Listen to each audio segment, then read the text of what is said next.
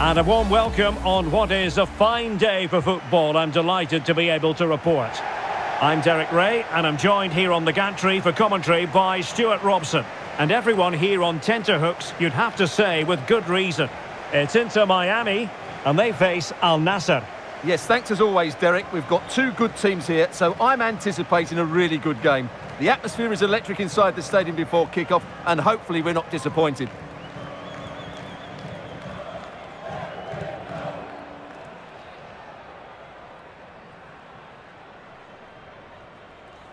And now it is all about the penalty shootout.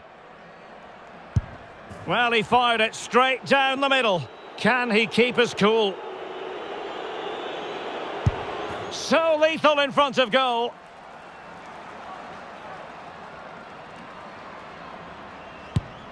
And it's gone in. His turn to try to convert from the spot.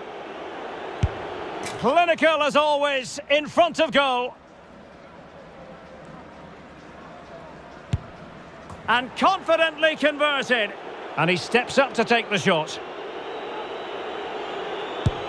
Goalkeeper beaten from the spot.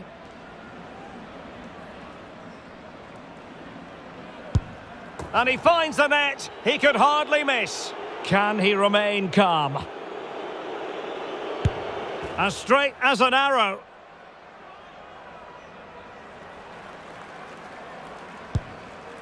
And he succeeds in finding the bottom corner. So much pressure. If he fails to score, they lose.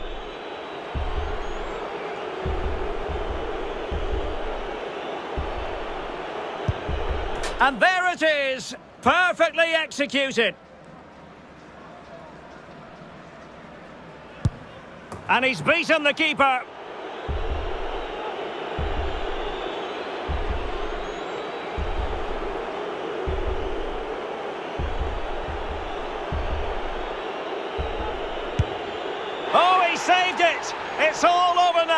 Well, that's a decent save, isn't it? He read the penalty and then was good enough to keep it out.